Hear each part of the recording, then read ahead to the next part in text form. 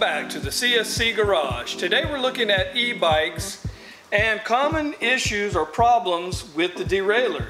I've got our resident e-bike expert, James, here. James, what is the derailleur and what is a common issue you see with it? Well, the rear derailleur shifts from uh, high to low, so it changes uh, the feel of how you pedal, so if you want to go uphill or downhill. But the most common, um, the most common issue I've seen on these bikes is that the derailleur guard gets bumped. And when it gets bumped sometimes, uh, it prevents the derailleur from coming out and dropping and allowing the chain to drop to the high gear. So it's pretty easy fix. Uh, this one has gotten bumped.